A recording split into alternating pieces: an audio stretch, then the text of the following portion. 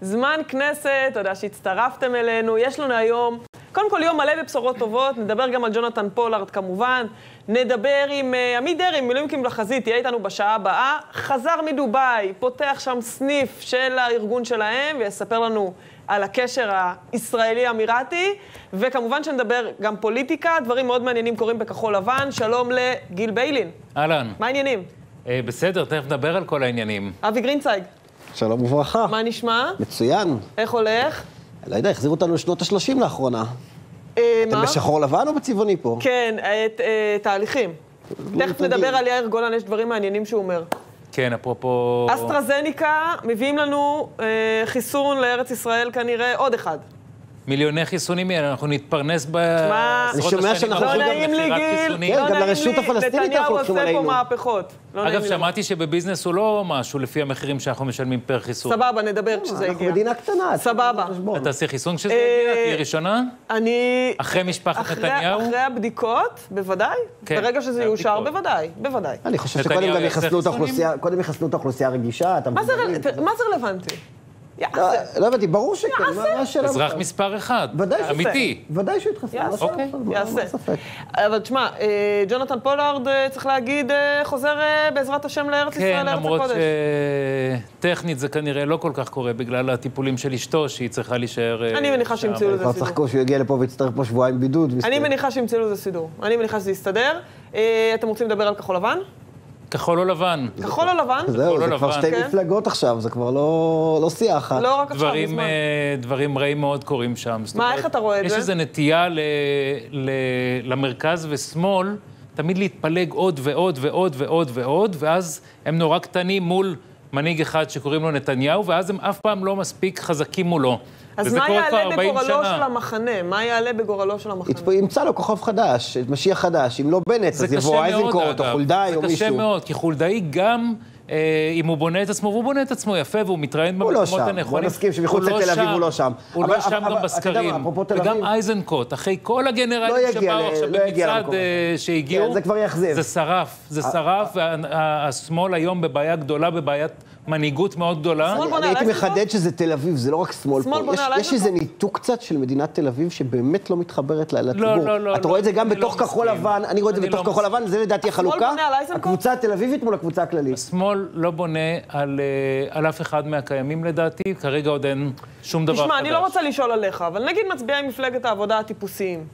אנחנו יודעים שמפלגת יכולה העבודה... גם לשאול עליי. עמיר פרץ ושמולי...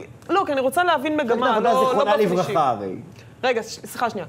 אה, עמיר פרץ ושמולי הולכים להיכנס, להיטמע בכחול לבן, יש שם עכשיו גם ויכוחים, גם על זה יש ויכוחים, כי הבטיחו לעמיר פרץ שני מקומות בעשירייה הראשונה, ועכשיו אה, מבינים שהם אה, לא במצב כל כך טוב, אז הם רוצים לשים את שמולי במקום 12 או משהו כזה, וואו, אנשים אופטימיים מאוד. ומרב לא מיכאלי בכלל, אני מניחה שמרב מיכאלי מרב מיכאלי רוצה לרוץ לראשות. מפלגת העבודה, את ראיינת אותה לפני שלושה נכון. ימים, והיא לגמרי, נכון. לגמרי שם. אז, אז תסביר לי, מצביעי העבודה, מה הולכים לעשות? הרי בסוף של דבר, מה שעמיר פרץ מתכנן לעשות, לטוב או לרע, למחוק את מפלגת העבודה, להטמיע אותה בתוך כחול לבן. זה לא עניין של למחוק את מפלגת העבודה או לא למחוק את מפלגת העבודה, בגלל שמפלגת העבודה כבר הרבה זמן באופן עקבי בסקרים לא עוברת את אחוז החסימה, ומה שאנחנו כן יודעים על סקרים, זה שהם לא באמת צופים את מה שיהיה, אבל כשיש איזושהי מגמה, אז, אז זה קובע את דעת הקהל. זאת אומרת, כשאנחנו רואים משהו קבוע בסקרים, זה כבר מקבע את המצב שם, גם אם הוא לא היה ככה. אפשר לומר שמפלגת העבודה החדשה תהיה או מרץ או יש עתיד או איזה וריאציה אנחנו כזאת? לא או ש- יודעים, או שיש... אנחנו לא יודעים. כמה לא, שאנחנו זה אולי כמי כמי קרובים... שמכיר את העבודה, אתה חושב שיכול להתגבש גוף חדש על חורבות מפלגת העבודה, או שזה... מפלגת העבודה זה הפעילים? שלה. טוב, מפלגת חברים, העבודה זה הפעילים שלה. מאוד מעניין אותי מפלגת לא שם- העבודה, אבל הם לא עוברים את אחוז. החסימה, אז אני לא מקדישה להם כל כך הרבה זמן בשידור שלי. תקשיבו, דברים שמצייץ היום חבר הכנסת יאיר גולן, סגן הרמטכ"ל לשעבר, והוא כותב, הוא כותב איזשהו שרשור על עמית סגל, אני באמת לא, לא נכנסת לכל הניואנסים, אבל הוא כותב ככה, לעמית סגל, אתה מייצג ציבור שהגה ומימש את מירב האלימות הפוליטית בישראל בחמישים השנים האחרונות. אתה מנסה להשליט את הדעות הקיצוניות שלך על כל אזרחי ישראל. אני וחבריי, אלה שבאמת בנו את הארץ הזו, ואלה שבאמת נלחמים עליה ובונים אותה גם כיום, לא ניתן למשיחיים כמוך להשתלט וואו. על סדר היום. כמה פה שקרים, הטעות. כמה מבינה שקרים. פה הטעות. זה לא קשור לשקרים, הוא באמת נלחם, הוא באמת עשה, והוא נלחם אז, והוא נלחם לא, היום. לא מדבר עליו אישית זה לא. קודם כל, החלוקה הזאת של חצי מהעם עושים, חצי מהעם לא. זה נורא. שנית, האלימות מגיעה רק מצד אחד. מה זה האלימות? אחד יגיד שזה כולל בריונות של השתקה תקשורתית או בריונות משפטית, אחד יגיד שגם בוגדנות או מרגלים או דברים כאלה, זה גם חלק מ... לא, אסור להכליל, אסור אה, אף פעם נכון. להכליל חצי מהעם באיזה הציוץ מסגרת הזה של זה. הוא, הוא הטעות, נכון. ובגלל זה, יכול להיות שגם בגלל זה, הוא עצמו ספציפית, והמחנה והמפלגה שלו לא מתרוממים. גיל, נכון. האנשים כמו יאיר גולן, הם הקול של מחנה השמאל. עכשיו, כשהוא מצייץ את הדברים האלה, הגזענות שלו קופצת החוצה. כשהוא אומר, אני, אנחנו אלה שבנינו ואנחנו אלה שעשינו, זה לא המזרחים ולא הדתיים ולא החרדים אותנו- ולא האחרים. הוא עוד פעם מחזיר אותנו לאמירות שגנבו לנו את המדינה, ואלה לא בנו פה. תשמע, המשפחה שלי ומשפחות שהגיעו לכאן בנו פה את הארץ כמו כולם. סללו כבישים, עבדו באדמה, בנו אה, ערים שלמות, גם עיירות הסבים הפיתוח. שלי, גם סבא שלי אני לא. מבדילה.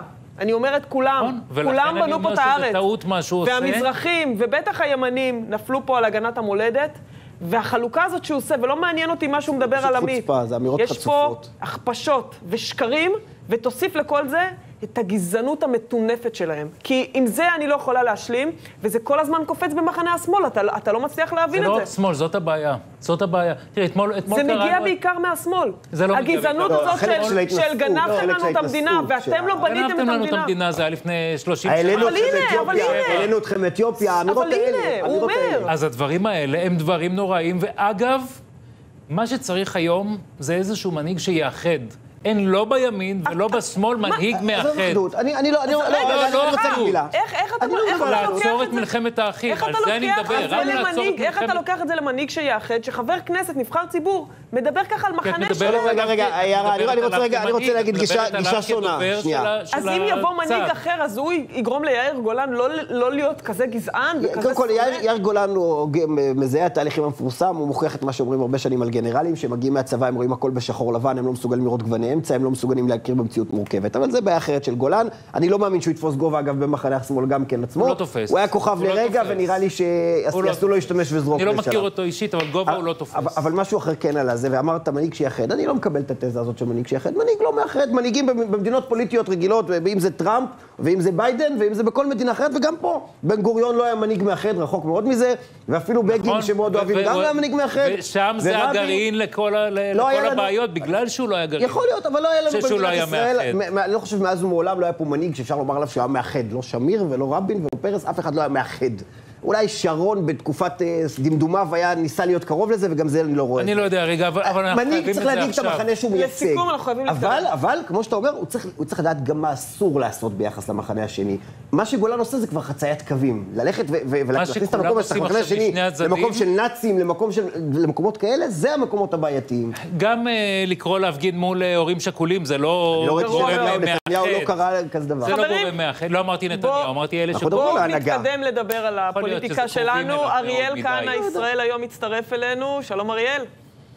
שלום, שלום. תעשה לנו קצת סדר. אה, מינויים, חשב כללי, תמורת אה, מנכ"ל משרד לראש הממשלה החליפי, שר הביטחון, ויש מי שמחרים. כן, האמת, ש... האמת היא הרע שזה טיפה יותר מזה. אה, למעשה אושרו היום חמישה מינויים בממשלה, שניים בצד של הליכוד, שלושה בצד של אה, כחול לבן, כשכמובן המינוי הבול... המינויים הבולטים ביותר, כמו שאמרת, זה המנכ"ל החליפי עוד בעצם אה, של, של בני גנץ, מנכ"ל משרד ראש הממשלה החליפי, אה, וכנגד זה לי אה, רוזנברג לחשב הכללי של משרד האוצר, אבל למשל גם מונה השגריר לאתיופיה, שהוא מינוי פוליטי מטעם גבי אשכנזי לבקשת שרת הקליטה פנינה תמנו שטה. זאת אומרת, גם אשכנזי בעצם היה, היה בדיל הזה, למרות שהוא אומר שהוא לא היה חלק, יש פה איזשהו סימן שאלה לא ברור.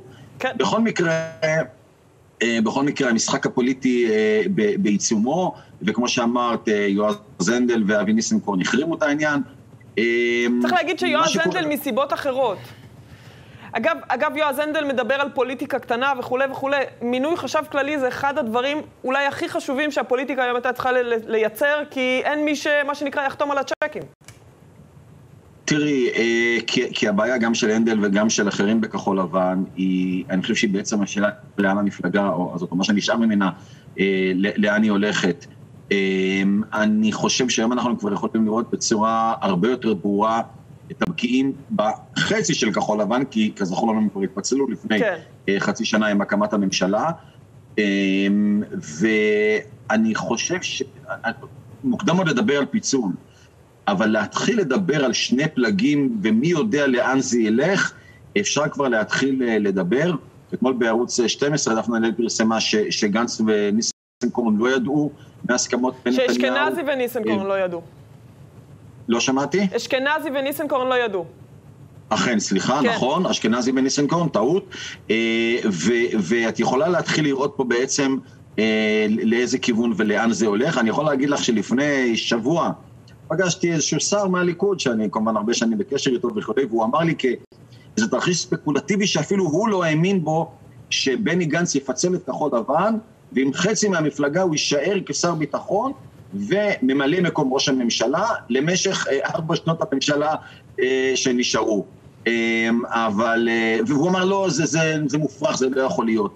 אני חושב שאחרי מה שאנחנו רואים היום, זה איך אומרים, הזיה כבר יש לה רגליים. אז אריאל, בוא נספר למה, רק נסביר למה, תראה, יועז הנדל מחרים בגלל הסיפור עם התקשורת, פריסת התשתית, הוא מתעקש על הדבר הזה, הוא אומר, אתם לא מאשרים את זה, אני מחרים. למה ניסנקורן החרים? כי כמובן הוא לא קיבל את uh, מנכ"ל משרד המשפטים, שבעיניי לפחות חלק מהאנשים בכחול לבן, uh, זה מינוי uh, הרבה יותר חשוב. אבל, שוב, אני, אני בכוונה לוקח אותך לרובד היותר עמוק. כן. אה, של הפיצולים שם בפנים. אה, הרשימה הזאת, המפלגה הזאת, מה שנשאר ממנה אה, לא במצב טוב. אם בליכוד את רואה הנהגה מוחלטת של בנימין נתניהו וקו אחיד שכולם פחות או יותר מתכנסים סביבו, אפילו גדעון סער, כן? בגדול מיישר קו. בגדול, בקטן פחות, אבל בגדול. תשמע, אז בוא, אז בוא נלך באמת לעומק של הדברים. גנץ מדבר, בוא, יש תחושה תמיד שניסנקורן מקדים אותו, כלומר ניסנקורן מקבל את כל הכותרות עם כל המהלכים שהוא עושה במשרד המשפטים, ויש תחושה שגנץ מנסה כרגע להראות קצת לניסנקורן, תרגיע, אני הבוס. אפשר לראות את זה ככה, בהחלט אפשר לראות את זה ככה, אבל תראי, השאלה העיקרית, לאן המפלגה הזאת הולכת? האם הם אה, עומדים על שלהם, מתעקשים על אישור התקציב, כמו שבני גנץ בעצמו אמר, ופורשים מהממשלה כי נתניהו לא נותן להם את זה, או שגנץ שוב מתקפל. ומה שאת רואה וגם שומעת היום בממשלה, בטקסטים של אשכנזי, הוא בירך והוא שיבח, והוא שמח, טקסטים נורא אופטימיים. עכשיו, בתור אחד שלפני רגע יהיה לעזוב את הממשלה, אתה, אתה לא מבין מה אתה מברך ומה אתה כל כך מבסוט. כן. כל מיני דברים שקורים, אני לא, לא אכנס לפרטים. כן. לכן אני אומר, כשאתה קורא, קורא את האווירה, לאן זה הולך, אחד מחרים, ולעומת זאת השני נורא מבסוט, אתה מבין שהפיצול פה הולך, ו, אה, הולך וגדל. אה, ולכן, בואי בוא נראה לאן זה... ויש פה סימן שאלה אה, לאן אשכנזי הולך בכל הסיפור הזה. אנחנו יודעים נגיד שאסף זמיר הולך לצד של ניסנקורן, גם פנינה תמנו שטה. יש שם, יש שם, הדברים שם...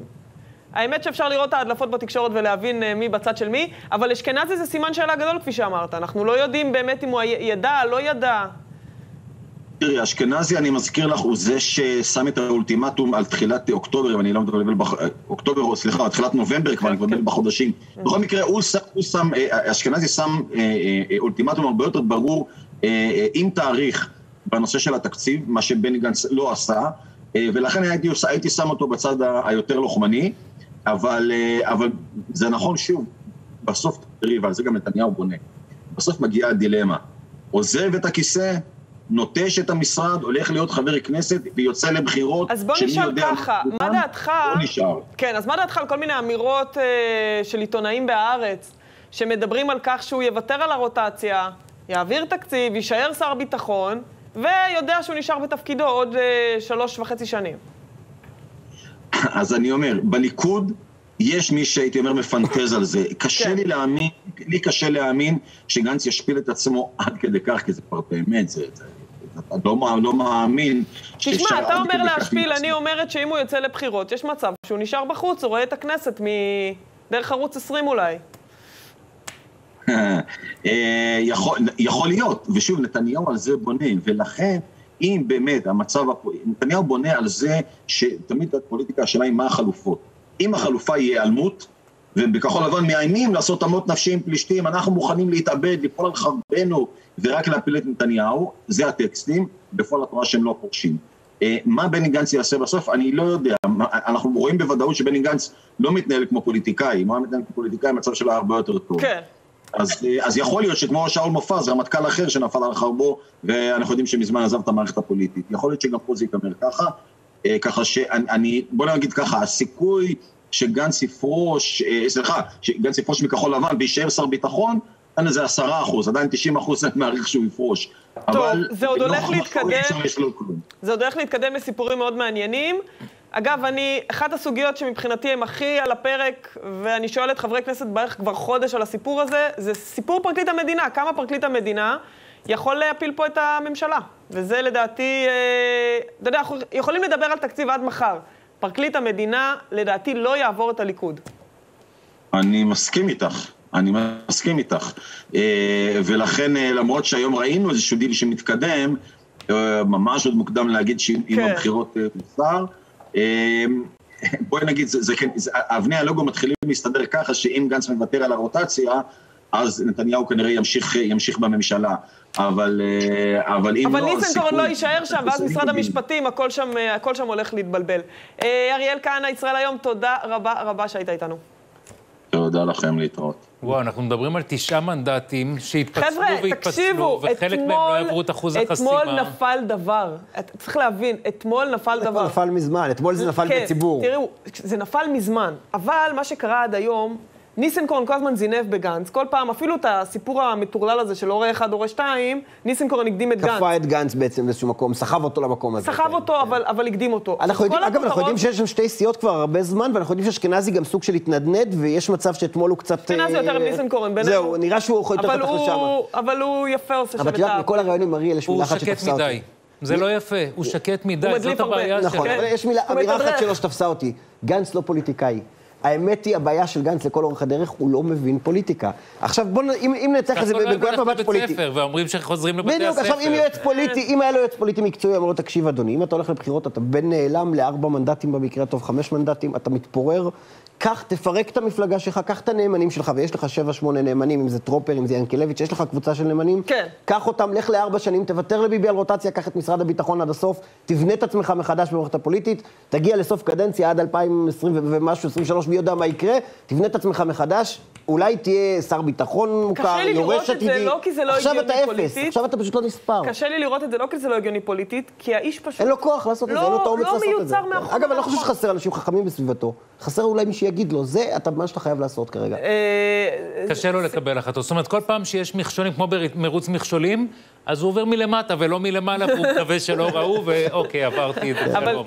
אבל תשמעו, אה, הסיפור הזה נבנה כבר המון זמן. זאת אומרת, יש שם זרמים אה, תת-קרקעיים שקורים המון זמן. אנחנו מדברים על זה הרבה לזה- בשידור. קוראים לזה עשייה התל אביבית מול השאר. כן, ומי הקבוצה ומי ש- ש- של זה ומי שהתפטר, שר התיירות ה- לשעבר ומי וכאלה. שקורא דווקא את הפרשנים של ידיעות והארץ, יודע שם לשים את הדברים. מי מתדרך מה. מה, מה קורה שם בדיוק, מה הולך שם מתחת, אה, מאחורי הקלעים. אבל אף אחד לא יודע מה יהיה. ניסנקורן כבר בשבוע שעבר, בסוף השבוע שעבר אומר, אני רוצה את הקו הניצי. אני רוצה, אני, אנחנו מבינים שהולך להיות בחירות, בואו נעביר את כל החוקים אה, נגד נתניהו, בואו נעביר אה, כל מה שנקרא השחיתות, השוויון, הצדק, כל סיבה הסיפור בדיוק, הזה. גנץ לא ייתן לו את זה כל כך מהר, כי גנץ לדעתי כן אז- פוסח על שתי אז הסעיפים רגע, אז פה. רגע, בשבוע שעבר היה נראה שגנץ הולך עם ניסנקורן. הלך לגינזבורג, אמר לו, הנחיתי את גינזבורג, תעשה כך וכך וכך. פתאום הוא מוריד רף, פתאום פתאום זה... הסיפור עם, עם אה, ועדת חקירה לפרשת הצוללות. הפך לוועדת בדיקה ומתמסמס. לא כן, מופתע אגב שהוא בודק את כוחו הפנימי קודם כן, במפלגה. רגע, הוא עוד לא נתן החלטה בעניין הזה, הוא צריך לתת החלטה השבוע. נכון, וזה מפתיע. וכאילו, הייתה תחושה שבוע שעבר שגנץ הולך על הקטע הניצי, ופתאום הסיפור הזה עם ניסנקורן, הפיצוץ הזה, שהפיצוץ כבר קיים מזמן, אבל עכשיו הוא עלה מעל פני השטח, וזה הולך להיות מרתק. כי, כי ניסנקורן הוא צריך לוודא כמה פקיד המחנה שלו אפורי, גדול. אבל פוליטיקאי מיומן. אני חושב שגנץ צריך לבדוק מה קורה עם המחנה שלו, האם האוזר והנדל איתו, האם תמנו שטה איתו, האם פרץ ו- ושמולי ילכו איתו. הוא צריך לבדוק איזה מחנה הוא יכול לגבש לעצמו, אם הוא מחליט על פיצול ילכו. ועל אה, זה. אתה אומר שהם ילכו איתו? חברים, יש לנו חבר כנסת באולפן, אז עם כל הכבוד, יוסי טייב, ש"ס, מה העניינים? ברוך השם, צהריים טובים. איך הולך? מה אתה אומר על הפוליטיקה? שמח, כ- שמח כרגיל. בפוליטיקה, מה יעשו ש"ס? מה יעשו ש"ס? תראי, ש"ס, אה, קודם כל, יש לנו את מועצת חכמי התורה שמנחה אותנו, ואיתה ההחלטה תילקח בו בזמן. אה, יש יו"ר התנועה, שמנהל את הדברים בצורה, אני חושב, אני אה, כל הזמן... באמת המבוגר אני האחראי. לא, אנחנו לא קראנו לך לזה, אנחנו תכף נעסוק בדברים הרציניים. אני כל הזמן שומעת שבתקשורת, המיינסטרים, אלה שלא מבינים כל כך מה קורה איתם סביבם, הפוליטיקאים, העיתונאים, הם כל הזמן אומרים שכחול לבן לא, מפר, לא מפרים את, את הסכם הקואליציוני. וועדת איתור פרקליט המדינה, כמובן שזו הפרה בוטה של ההסכם הקואליציוני, חוק הגיוס. אבל... חוק הגיוס. יפה, חוק יפה, יפה, מעולה. מע- תודה, גרינצייג. גפני. גפני אומר, גנץ מפר את ההסכם הקואליציוני, הוא לא מקדם את חוק הגיוס. הוא הבטיח ברגע שתקום הקואליציה, הוא אה, ילך על הדבר הזה, והוא לא מקיים, הוא עכשיו מתנה את זה בשיחות עם נתניהו. תראה, קודם כל, חוק הגיוס, לכן זו, זו סוגיה, אני חושב, אה, קשה. אה, סוגיה אמיתית לגבי הסכם קואליציוני, אבל יש עוד אה, הרבה דברים נוספים מעבר לחוק הגיוס. יש תקציב, יש פרקליט המדינה. אני חושב שיש פה סל גם באמת... עשו לכם קטע עם יצחק כהן, יש- יש- כבוד הרב יצחק כהן, בשבוע בסדר, שעבר. אה, אני, אני חושב שהרב יצחק כהן, השר לשעבר, סגן השר העכשווי, לקח את ההחלטות שלו, אף אחד לא זרק אותו החוצה. בוא, בסופו של דבר הוא אני לקח לא את ההחלטות. דיברתי על זה, אני דיברתי על הבטחה של גנץ בלילה, שבבוקר השתנתה לגמרי. בסדר, בסדר, ולכן אני אומר, נעשו פה כל מיני דברים, יש פה סל של דברים, אה, פסיפס של דברים שבסופו של דבר בונים איזושהי תמונה, והתמונה מתבהרת יותר ויותר, ואנחנו מתקרבים לדדליין, ובואו נראה, יש לנו עוד קצת זמן, לא הרבה זמן, עוד קצת זמן, ולדעתי אנחנו כבר נקבל תמונה שלמה ממה שקורה. כי זה נושא... אני אוהבת שמחדדים את השאלות שלי, אני הרבה פעמים לא מצליחה לשאול שאלות. מה שאת- מה- מה שיערה בעצם מציגה בו, זה שאין אלטרנטיבה. הרי כל הזמן מנסים לצייר למה החרדים לא הולכים עם אלטרנטיבה. אולי תלכו עם גנץ, אולי תלכו עם בנט, עם לפיד וכולי. השאלה היא, האם בקשר שלכם עם כחול לבן, ראיתם פוטנציאל לאלטרנטיבה כזאת?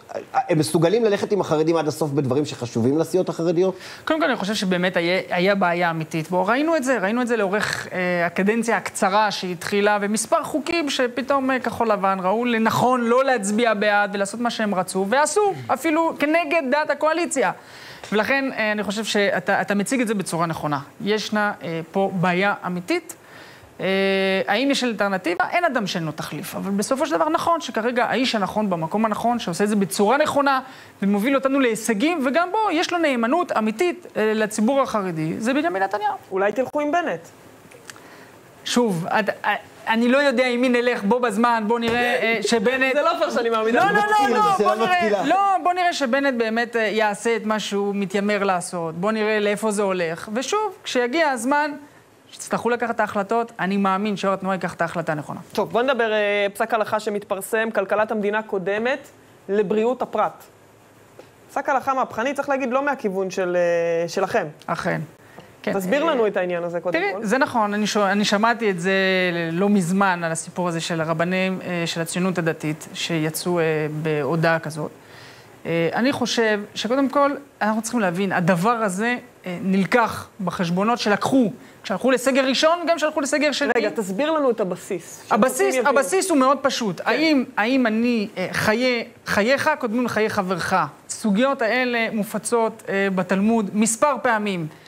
כמות מצומצמת של מים שמספיקה להחיות אדם אחד, האם אני לוקח לעצמי ואני משאיר את החבר שלי למות מולי, או שאנחנו מתחלקים ושנינו נהרגים בסופו של דבר? התיאוריה הזאת אומרת שהכלכלה של מדינת ישראל קודמת לבריאות של 1, 2, 3. נכון. של כל אחד מאיתנו. נכון, ולכן אני, ברמה האישית, אני יכול להגיד שאני לא מסכים עם זה, אבל קטנתי. ולכן אני מאמין שכשיבוא הזמן והסוגיה הזאת תעמוד על הפרק, מועצת חכמי התורה, בראשה חכם שלום הכהן, יקחו, יקחו את ההחלטה האמיתית בנושא הזה. הדבר הזה, אג- אגב, הוא, כמו שאמרתי, גם בסגר הראשון וגם בסגר השני, עלה על סדר היום, ולכן אה, יו"ר התנועה הנחה גם את, אה, הנחה, התייעץ, עם, אה, גם עם שר האוצר וגם עם בנימין נתניהו, ראש הממשלה. להביא איזשהו תמריצים לאותם, אה, לאותם עסקים קטנים, כי בסופו של דבר, בואו, אנחנו גם להם צריכים לדאוג. אני חושב שש"ס עשתה את זה כמפלגה חברתית. היום, צריך להגיד, היחידה בכנסת דאגה, אם זה לרשת ביטחון תזונתית, ואם זה עכשיו לעוטף עזה, אני חושב שיו"ר התנועה מוביל את זה למקום הנכון. נכון, ישנם סוגיות רבות. ברמה הכלכלית, ברמה של עסקים קטנים מול חיי אדם, הדברים האלה, כשיצטרכו להגיע להכרעה, קצת יגיעו ברמה למועצת חכמי התורה. הפילוסופית. יש פה רבנים שאומרים משהו ש...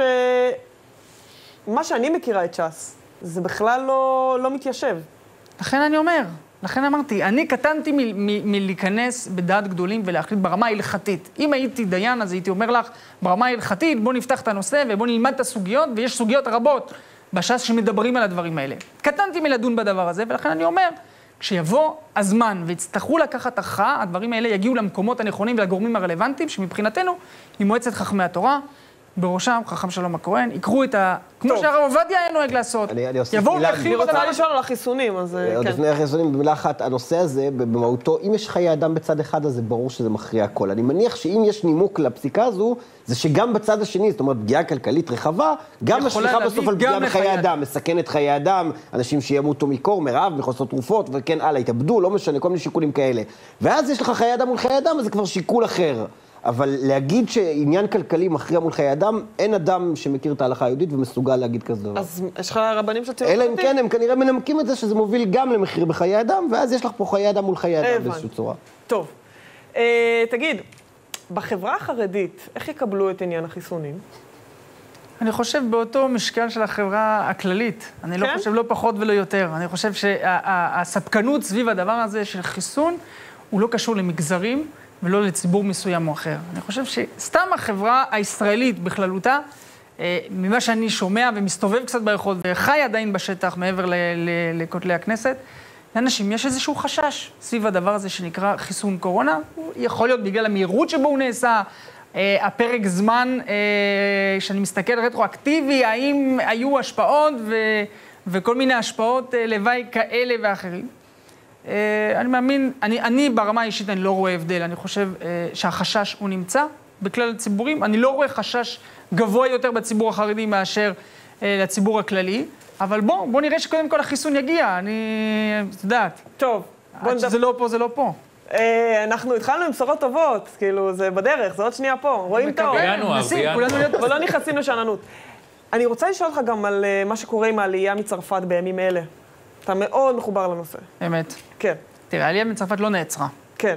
אה, ויאמר אה, באמת לזכותו גם של ביבי וגם של שרת הקליטה וכל מי שעוסק אה, סביב הסיפור הזה, שהם נתנו את האפשרות שהסיפור הזה של עלייה ילך וימשיך. אני, יש לי בעיה עם עצם זה שיש לנו איזשהו מנוע דחיפה, מה שאני קורא לו כל הזמן, שבעצם אנחנו רואים גלי עלייה כאלה ואחרים בזמן קורונה, בזמן פיגועים, בזמן, בזמן שיש כל מיני תופעות אנטישמיות כאלה ואחרים.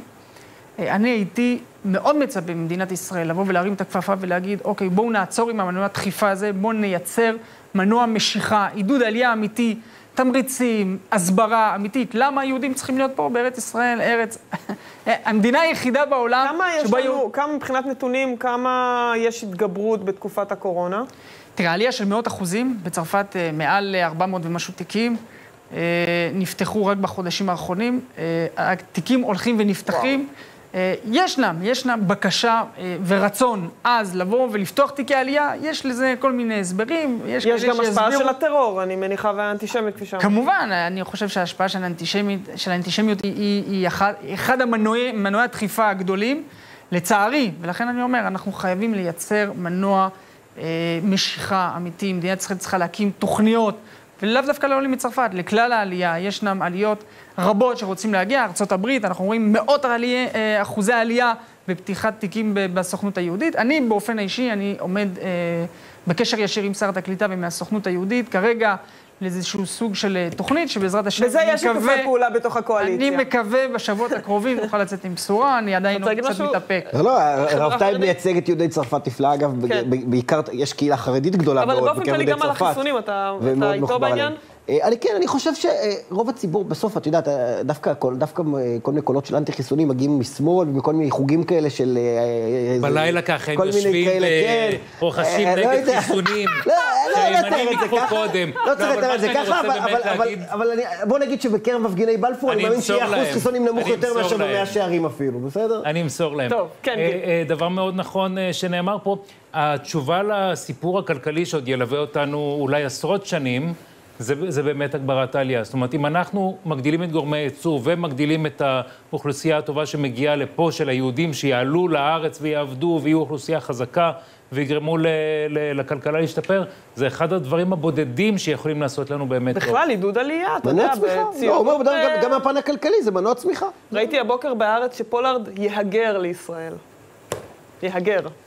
טוב, עוד תיק, הוא דיבר על מאות אחוזים של. תיקים, אולי תיק של פולארד, אחד מהם. יהגר, לא יעלה, יהגר. 400 ביחס לכמה קודם, מדהים. 400 תיקים אנחנו מדברים על עלייה של מאות אחוזים. מאות מדהים. אחוזים. מאות אחוזים, זה לא, זה לא, זה לא קל. אה, אני מאמין גם אבל אנחנו לא עושים מספיק. בהחלט, יש עוד הרבה מה לעשות. אה, לא, זה עצוב מאוד, בכל העולם, אנחנו לא עושים מספיק. נכון, אנחנו לא עושים מספיק, וזה לא רק עושים בצרפת, זה. בכלל- העולם. ודווקא עכשיו יש נקודה שיכולה להיות מאוד מאוד ודווקא עכשיו אני הייתי מצפה. ממדינת ישראל דווקא, תשימו. את הדברים. בצד, יש פה רצון עז לעלות, בואו תניחו שממשלת ישראל תניח תוכנית חומש, תיקח החלטת אגב- ממשלה אמיצה, ותעלה את מאות לא- ואלפי יהודים, משפחות יהודיות שרוצות זה לבוא. לא עכשיו, זה כבר מהגל הראשון. כלומר, היה לנו, אנחנו מדברים נגיד ממרץ, היה לנו כל כך הרבה זמן להיערך, המדינה לא עושה מספיק, וזה אפילו בעניינים הבירוקרטיים. אין מענה מבחינת אפילו לשלוח טופס. מסקרן אותי אגב לעניין אגב, אחר. אגב, מעניין אם הטפסים ב- כשלעלייה זה הורה אחד, הורה שתיים. את האמת, את זה לא בדקתי. מה אתה אומר על- מעניין, מה אתה אומר יהיה על הסוגיה. הזאת? אני, מה- אני אומר? אני אומר כמו שכל הציבור החרדי אומר, אני חושב שזה לא היה צריך להיעשות. אה, העמדה שלנו היא ברורה בנושא הזה, אנחנו מדינה יהודית. אה, אני, אני יכול לדבר בפן האישי. כשעליתי כן. מצרפת, עליתי בשביל לעלות למדינה יהודית. כל אחד בביתו יעשה את מה שהוא רוצה, ואני כן. חושב שברמה הציבורית, ברמה הממשלתית, ברמה המדינית, אנחנו צריכים לעשות הכל כדי. שהדברים של, שמראים מהו יהודי ואיך הוא יהודי ואיך לשמור על הגחלת היהודית. בוא, אני אתן לך דוגמה. כן. הקהילה היהודית בצרפת נשמרה כפי שהיא היום, בגלל שהם שמרו על, על הזהות היהודית. הזהות היהודית היא מה שחיברה, הוא היה הכוך הריתוך האמיתי שחיבר את אותה קהילה, היא יכלה ללכת להתבולל. ואנחנו רואים שקהילות מתרוקנות, ואין להם את הפן החזק ואת המנהיג החזק שמנהיג אותה, בסופו של דבר אנחנו רואים, מוביל למאות... התבוללות זה- להתבוללות. היום 31% של נישואי תערובת בצרפת. אה, אני חושב, וזה רק הולך ועולה משנה לשנה. אני חושב שדווקא. החיזוק הזהות היהודית, אז תשמע, קבל ברור, המלצה. פה במדינת ישראל, קבל זה מה המלצה, שיחזיק שר אותנו. הפנים. אם יש הנחיה של, אה, של שר הביטחון ושל שר המשפטים על העניין של הורה אחד, הורה שתיים בטופסולוגיה של המשרדים שלהם, יבוא שר הפנים ויגיד, אני בטופסולוגיה שלי מנחה שיהיה כתוב בעזרת השם. ואז בוא נראה איך, איך כן התגובות. זה רעיון שעוד יכולים לאמץ. רעיון לא רע. כן. אני מבטיחה לך שאני אמליץ את זה לשרי הליכוד. הנה, אתה קיבלת את המסר. אני רק, רק שאלה אחת שמעניינת אותי. לסיום, כן. דווקא כמי שמחובר קצת גם למה שקורה בצרפת, והיא מדינה מוסלמית בהתהוות, איך מקבלים שם את ההסכמים, את הסכמי השלום כאן, ואת ה... פתאום השתנה שם חשיבה על הנושא של ישראל והפלסטינים? קודם כל, כן. כיושב ראש אה, קבוצת ידידות ישראל-צרפת, אני יכול לומר לך שהיה לי המון שיחות עם עמיתי, אה, אוברור ברג'ה, שמנהלת אה, גם את קבוצת הידידות צרפת-ישראל, ודיברתי על הנושא הזה, ולא רק. דיברתי גם על ההיכרות של חיזבאללה כארגון טרור ועוד הרבה נושאים שעומדים והם חשובים מאוד על הפרק.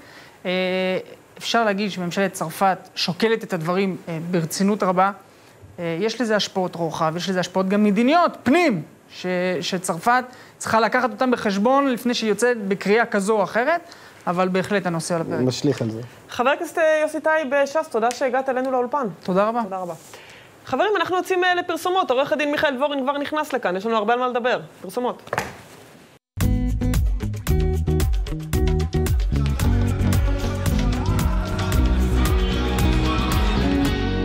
חבר'ה, חזרנו. חזרנו, חברים, עורך הדין מיכאל דבורין מצטרף אלינו, אולי ראיתם אותו במקור ראשון בסוף השבוע, מה נשמע? בסדר גמור. טוב, יש לנו קודם כל עדכון, אה, גנץ החליט להקים ועדת בדיקה ממשלתית לחקר רכש הצוללות וכלי השיט.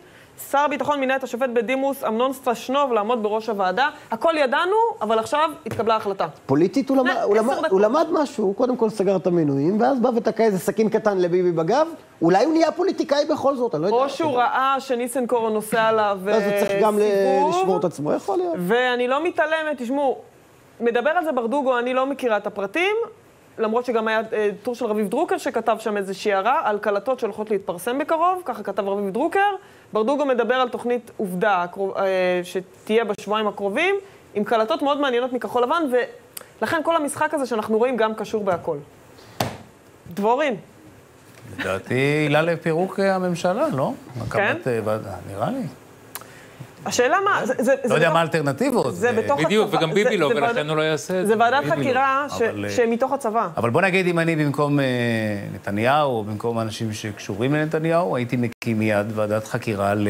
למימד החמישי. למימד החמישי, או לסיכול מינויו של גל הירש, או למסמכי יצחקי, או אם תרצו, ניתן לכם רשימה בחוץ לעוד עשרה דברים. דבורין, אבל, אבל אה, אה, שר לבט"פ זה אמיר אוחנה. יכול להיות שזה- שהוועדה הזאת בסופו של דבר אולי תגלה את האמת ותנקה את נתניהו דווקא בסיפור הזה? יש, יש צד כזה? סתם כמי שמכיר את המערכת, את האנשים אבל הם הרלוונטיים. לא מעניין אותם הרי מה האמת, הם רק רוצים לא, לשמור את זה הוא בכותרות. לקח כאילו את אבל סטרשנוב ועוד איזה אומר, כמה אנשי מקצוע אה, כביכול. נדמה לי, ש... נדמה לי שהשר אוחנה בעצמו אמר שאם הם יקימו כזאת, אז הוא יקים אחרת. הוא לא אמר, הוא לא אמר, זה- שאלתי אותו על זה בריאיון. יצא יש. איזשהו... קח, קח את התלונה של תת-ניצב גיא ניר, שהוא במקרה לקוח שלי, קח אותה כמו שהיא, זה הבסיס שלך, ראש, אה, ראש אגף המודיעין במשטרת ישראל, מה שהוא אמר, פלוס מינוס משטרת ישראל ארגון פשע, נראה לי שזה מספיק חומר לוועדת חקירה, לשלוש אוחנה... ועדות חקירה, לא אחת. אתה מייצג אז בוא, את... הייתי, הי- הייתי עושה את זה. אז למה אמיר אוחנה לא עושה את זה? לא יודע, אני מקווה שיעשה. אבל אולי באמת... אולי זו עילה טובה לפנות. אליו, כבר עכשיו. כבר עכשיו. אני שאלתי אותו בריאיון על הממד החמישי, הוא אמר שהוא לא מתייחס לסוגיה לא, הזאת. אני יכול, אני יכול להבין למה הליכוד, או, או אפילו השר אוחנה, לא ירצה להסלים סכסוכים וכולי, אבל אם הגענו כבר לתחתית החבית, וכבר ככה מנסים למצוא את האמת ולגלות כל מיני דברים שלא ידענו, קדימה, יש על מה. אתה יודע, אנחנו. גם מלינים על הצדק שלא גל נעשה. הירש ישמח, אנחנו מלינים גם על הצדק שלא נעשה. נכון? והמימד יש- יש, החמישי... אה, אתה לא יכול לדבר על ביטחון המדינה בהקשר של פרשת הצוללות ולהתעלם מהמימד החמישי. זה. ביטחון המדינה. לא, המד החמישי זה יותר הביטחון הכלכלי של המדינה. למה? זה יהיה נורא מעניין שחילקו איפה- לכל מיני לא. לא, לא, לא, לא, יהיה לא, נורא לא, מעניין לא, איפה השמות מסתובב שדלפו, המאגרים. זה המאגרים, מסתובבים המאגרים של משטרת. ישראל? בקטנה, אז בקטנה. זה לא רק המאגרים, אם זה- בצד הנכון מישהו הרוויח מזה, אז זה בסדר כנראה. זה לא רק המאגרים, זה איך משטרת ישראל מעבירה מאגרים למאן דהוא, ואתה לא יודע... זאת אומרת, זה גם תהליכי העבודה. או פועלת אבל, בלי אני לא מכרז. למה, זה- זה לא, מבין. למה זה לא אינטרס של ביבי? יכול להיות שבמסגרת ההסכם ביניהם, ביבי אמר, אני נקי בפרשת הצוללות, בוא תקים מה שאתה רוצה, אתה רוצה צבאי, אתה רוצה אזרחי, אתה רוצה בדיקה, אתה רוצה חקירה, תקים, תראו שאני נקי, ובואו זה נתקדם. מה ששאלתי קודם, אם יכול להיות שהם יצאו מסקנות זה, אבל אני אבל לא אני לא חושב שביבי חלק ייזום את זה, כי. זה לא נעים אף פעם. ועדה לא, להפך, שבודקת אני זה אף בא פעם לא דבר מהצד של נעים. נתניהו, ואני אומר, אני יכול להגיד- להיות, אני בואו חייב תנקו להגיד- אותי פעם אחת. שצריך לשים לב ליכולת, ה- הייתי אומר, ההכרעה של השמאל, לא משנה, אפילו בני גנץ, כמה הוא הססן. להקים, פשוט להקים. פשוט להקים. זה הימין, כמה שנים. אני לא יודע, מתי הבאנו את, אה, את עניין, אה, מתי הבאתי את עניין גל הירש? לפני שנתיים אולי, שנתיים וחצי, כבר, כבר הייתה החלטה להקים, ובסוף איכשהו הצליחו לא להקים, והנה פה בעשר דקות הבן אדם הקים ועדת חקירה. הייתי אומר, הפקת לקחים לימין, יכולת איך עובדים. איך יכולת עובדים. הצנזורה, זה לא רק איך עובדים, זה גם יכולת ההשתקה של סיפורים שלא בא להם. תקשיב. וראית את זה גם עכשיו, את יודעת מה? זה לא, שנייה. אבי, זה לא זה, תקשיב. אני, זה מרתיח אותי. כי תראה מה קורה עם אפי איתם עכשיו, תראה מה עושים לאיש הזה, שהוא באמת... דוגמה, הוא, נכון. הוא, הוא, הוא, הוא גיבור ישראל. ואז את מגלה מי היה גיל יושב מה ראש שהוא יד רוצה. ושם לפניו, את יודעת? טומי לפיד, ברור, ברור. לא, באמצע. ברור. מי? הייתה מישהי שהיא בת של איזה ארגון... היא, היא המנכ"לית, יד היום, יד היום, אוקיי, מנכ"לית. יפה. אז זה, אבל זה אף אחד לא מדבר. עכשיו, אני אתן לך דוגמה, אבל סתם, שים לב, דוגמה שתפסה תראה מה אותי. עושים, תראה מה עושים, אפי איתם מדברים על המינוי הזה כמה זמן, וכל השמאל עושה עליו קמפיין. אגב, כל בסוף הסיפור, לפחות הוא כל נכנס. הסיפור, בסוף פה לפחות הוא לא נכנס, הוא עוד לא מונה, וכחול לבן לא לו יתמנה. הוא יתמנה, הוא לא יהיה יתמנה. יושב ראש יד ושם לדעתי. אה, אני מהמר אפשר שכן. להתערב? הוא לא יתמנה. אני מהמר שכן. זה צריך מהלכים של אלקין, ואני. מהמרת שהוא לא מתמנה. יש פה החלטה של יש פה כחול נושא לבן. אחר שהוא יותר מהותי בעיניי. אני רוצה לדבר עם מיכאל. הבאנו את מיכאל לפרשת משפטים בושה. לא, כל. לא, דבר, דבר. אה, הנושא ההשתקה, את יודעת מה, לפני כמה עימות באולפן בחדשות 12, דיברו על הביטויים של הנאצים וכל זה. כן. ועמית סגל ושרקי, ששניהם אנשי ימין יותר מזוהים, מיד אמרו, כן, צריך לפתוח הכל על השולחן, כל ההתבטאויות להביא ולבקר מה שמתאים פה, מה שמתאים טוב. פה. ואז בא נוסבאום, שאנחנו יודעים איפה הוא נמצא בזה, לא, יש דברים שאז לא כדאי לזה, להוא, למפגין הזה, לא צריך לתת במה, אבל לסיפור של אה, קיסריה וזה כן צריך לתת במה. זה שמאל קלאסי היום במדינת ישראל. מה שמתאים לנו יהיה על השולחן וידובר וייחקר. מה שלא, יושתק. קודם כל, אנחנו רואים את זה במה שקורה, בכלל הם קוראים להשתיק אותנו, אלדד יניב וכל כן, אה, חבר מרעיו. לא? אבל, אבל הסיפור הוא... אבל מי זה אלדד יניב שהוא קורא להשתיק ואתם זה לא- ורביב דרוקר, אותו טור כתב בהארץ וכולי. אתה יודע שאני קורא את כל הטורים שלו. אבל אם אה, כבר, אה, זה-. אבל- די את האויב. אבל תקשיב, המנהיגים זה לא רק- לא. עניין ההשתקה. זה הסיפור הזה שניסנקורן בא, רוצה, מבצע, עושה, מבצע. ו- ועדת איתור פרקליט מדינה על הראש של אבל נתניהו, שהייעוץ על הראש המשפטי שלו. לצידו. אף יועץ משפטי, אתה תוכל להגיד לנו יותר טוב מכולם. אבל אמיר אוחנה רצה למנות את אה, בן. ארי, לא את ליאת, את הש- את אלדד, דן בן אלדד. ארי, בן ארי לא, השנייה, לא, לא. לפני לי- אה, לפני דן אלדד, ואחרי זה דן אלדד. הנה, הכל התמסמס לו. יש יש בוא- יש בוא לו סמכות. להקים ועדה בכלל לאמיר אוחנה? בוודאי. יש לו אה, סמכות, אה, אותה סמכות כמו שיש לא, לגנץ. יש אני לא יודעת, כי שם זה החוק הצבאי, ואני לא יודעת אם... לא יודע, אז יכול ללחוץ, יכול לדחוף, יכול לעלות לממשלה. יש מבקר, יש זה, יש יש מבקר מספיק בבט"פ. אפשרויות ללחוץ בדיוק כמו שגנץ לחץ. טוב, בוא נדבר על פרשת משפטים בושה. כן, זה אה, מדהים. אה, נציב הביקורת על הפרקליטות היום מתייחס לדבר הזה. כן, אני לא יודע אם. לכם לקרוא את ה... לפחות אני ראיתי תמצית של החלטה, לא ראיתי את כל ההחלטה, אבל זה, זה מדהים. קודם כל, שוב תקלה, שוב בפרקליטות, שוב בעניינים שקשורים לביקורת על המערכת בנושא פרשות נתניהו, אם תרצו, כי הכל קשור. עוד פעם איזו מערכת דיגיטלית שלא הייתה... עכשיו, מה מעניין? שהוא ממקד את הביקורת בזה שלא סגרו את התיק, או לא סגרו מספיק מהר, הוא לא ממקד אותה באיך הגברת הזאת הגיעה בשבת בצהריים לאזיקים וניידת ומעצר. צריך להגיד, הפרסום של אלה חסון, אותה גברת כן, עורכת דין. נלקחה לחקירה בפתח תקווה. עורכת דין, עכשיו, מזל שהנציב רוזן אומר שההתבטאות מותרת, אז אפשר להירגע שהיא... אמרה את זה, זה מותר מותר להגיד את להגיד זה? את זה. מותר? עדיין מותר, לא השתנה. רגע, לשבת על ספסל מול הבית של מנדלבליט גם מותר, או שזה עוד לא לא? הם עוד לא עוד הגיעו לא- לתיק הזה. עוד לא עוד הגענו הגיעו. לתיק הזה. עוד לא הגיעו. אבל לא, הוא לא בודק, והוא גם אומר, זה לא מסמכותי, שהמשטרה תבדוק. מנדלבליט אומר, אני לא... עכשיו, מאיפה זה בא? מאיפה באה התלונה? כן, איך עצרו אותה? איך לקחו אותה מהבית? כאילו, מה, זה יוזמה של מי? כן, מנדלבליט לא קשור לעניין? רק הוא והמאבטח שלו היו שם. אז מישהו צריך להיות, מישהו הגיש תלונה, אם לא הגיש תלונה זה נורא חמור. שעוצרים, קוטפים בן אדם מהרחוב או מהבית שלו אפילו בלי תלונה. איום על המשטר. קיצור, מוזר נורא, אבל הוא מוצא את התקלה איפה? באיזה מערכת דיגיטלית שהשאירה את התיק פתוח כמה חודשים נגד עורכת דין נורמטיבית שלא עשתה כלום. ואני אומר, כל פעם התקלות האלה. היה לנו מה, את זה עם לא שי יודעים שיש- ניצן והמיילים לשופטים המכהנים, המתדרכים, תקלה. היה לנו את זה, את הסיפור עם אוריך והפלאפונים, תקלה. היה לנו את זה עם הסיפור עם חפץ והתרגילי חק... הכל תקלות. הכל תקלות. עכשיו, אני אומר, בפרוטוקול. יכולתם לקחת תיקי נתניהו. ברבע שעה הייתם גומרים אותם. כונסים, אומרים, הוא היה אומר, סליחה תקלה, לוקחים לו כסף חזרה על, על הסיגרים והשמפניות, נניח, אומרים לו, נו, נו, נו, אל תדבר יותר עם עולים, זה אסור מהיום, 70 שנה זה היה מותר, אבל עכשיו זה אסור. היינו גומרים ברבע שעה את התיק, אם, אם הכל היה תקלות. אז מתי זה פלילי ומתי זה תקלה? אני שואל מתי ששי אתכם. ניצן אומר.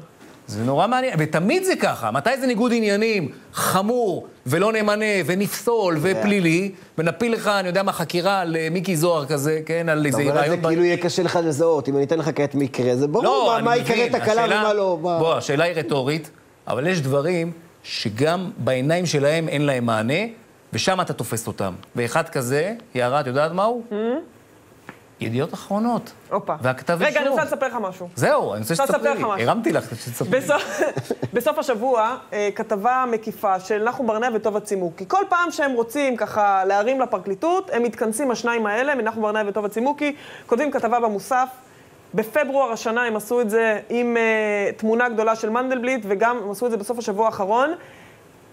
ב- בפברואר זה היה יוע- יועץ משפטי אה, תחת אש, משהו כזה, נלחם על עתיד המערכת המשפטית וכולי וכולי וכולי, שם הם כתבו, אז זה היה עם הסיפור של אה, הקמת ועדת חקירה. אה, בעניין אה, מה שאמיר אוחנה הקים, בעניין מח"ש, כן. ואיך, ניסנקו, ואיך אה, מנדלבליט, ניסנקו לא בתמונה עדיין, מנדלבליט ניסה לטרפד, ואיך אה, אמיר אוחנה, אה, אה, ואיך לא מקשיבים ליועץ המשפטי לממשלה בהחלטת ממשלה, והם קראו לזה באותו מאמר הפיכה שלטונית, כן? כי הם לא מקשיבים ליועמ"ש. עכשיו הם עשו טור, יפה יפה, עוד פעם, הדברים שקורים בתוך הפרקליטות והיועמ"שייה. אז ליאת בן ארי, על כך שהיא ויתרה על התפקיד שלה, אז היא בעצם, אה, אה, מנדלבליט רואה אותה כאיזושהי לוחמת צדק, כי היא ויתרה למען אה, תיקי נתניהו. היא ככה... למען פיצולים. ויתרה ככה, מסוכן. היא עשתה מחווה. אנושית למדינת ישראל, ויתרה בגלל תיקי נתניהו על מינוי פרקליט מדינה, ומנדלבליט מאוד מעריך את זה.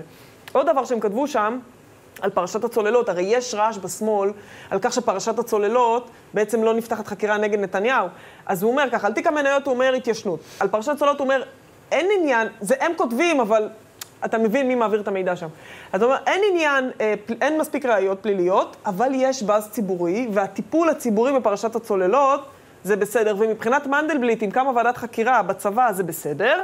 ועוד הם כותבים, אם מנדלבליט לא היה אה, היום יועץ משפטי, הוא היה מצטרף להפגנות על הגשרים. אני עד רגע זה לא שמעתי הכחשה ממנדלבליט משפט נכון. על המשפט ההזוי הזה. עכשיו, הדבר הכי מדהים... שמנדלבליט היה מצטרף להפגנות. הדבר הכי מדהים הוא הדבר הבא. הבמה הוא ידיעות... מחליט! רגע, לא. הבמה היא עיתון ידיעות אחרונות, עיתון שהמו"ל שלו עומד לדין על. ניסיון לשוחד, באותו תיק, ושהוא פעל.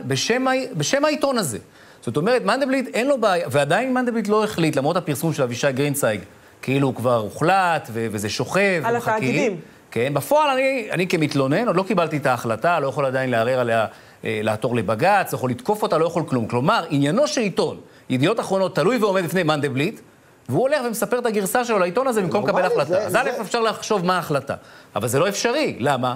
כי אותן עובדות שבגללן הוחלט להעמיד לדין את מוזס, היו צריכות להיות העובדות שבגללן מעמידים לדין את ידיעות אחרונות. יכול להיות שיום אחד... אז מה הוא הולך לדבר איתה? שום. גילוי נאות, שום גילוי נאות, שום אמירה, שום כלום. זה ושום. שאלה, שום שאלה על הקלטת המפורסמת. אז הנה גם התשובה למה הוא לא מעמיד לנו לדין את ידיעות אחרונות. הוא לא מעמיד לדין את ידיעות אחרונות. לכאורה זה נראה סמלי, אה, תאגיד, שטויות, זה אפילו לא בשר זה ודם. במת הבית, מה? העיתון אפילו לא יכול לעמוד, לא יכול לשבת בכלא. כן, אני אומר, זה הכי לא סמלי שיש. כי אם העיתון עומד לדין, הוא לא יכול להתייחס בכלל לפרשות נתניהו, לא יכול להביא לא את גרסת מנדלבליט, לא את גרסת אף אחד. הוא עומד בצד, בשקט, בפינה, עד שהמשפט שלו נגמר.